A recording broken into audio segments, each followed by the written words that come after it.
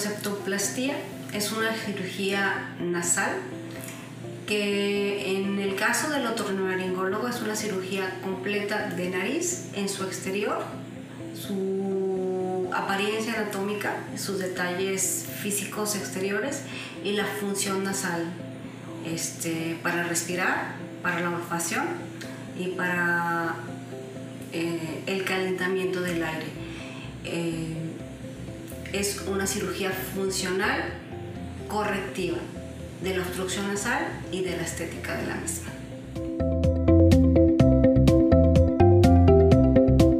Para rinoseptumplastía son candidatos personas que tienen obstrucción nasal, que respiran con su boca, que tienen rinosinusitis de repetición, que mm, tienen alteraciones en la olfacción y obstrucciones que producen ronquido y apnea del sueño.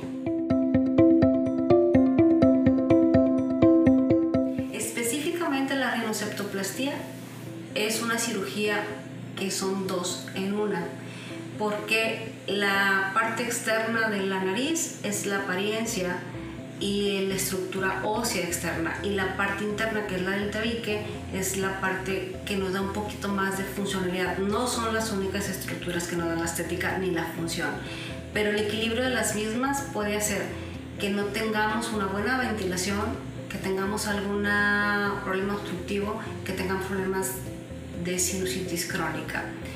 Se hace con anestesia general y Usualmente la cirugía de nariz ahora toda se hace de mínima invasión, pero a beneficio del paciente cuando lo necesita.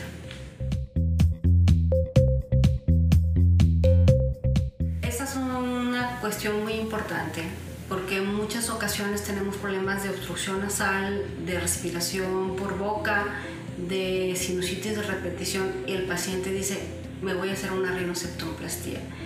En ocasiones es necesario hacer las dos cosas para la función porque está deforme la nariz por dentro y por fuera. Y algunas ocasiones tenemos una pirámide nasal, estructura externa normal y el tabique desviado. Cuando se corrige solamente el tabique nasal, que es la pared en medio de la nariz, es septumplastía. Cuando se corrige la parte externa de la nariz, donde tenemos una modificación estética que puede ser funcional también, es una rinoseptumplastía.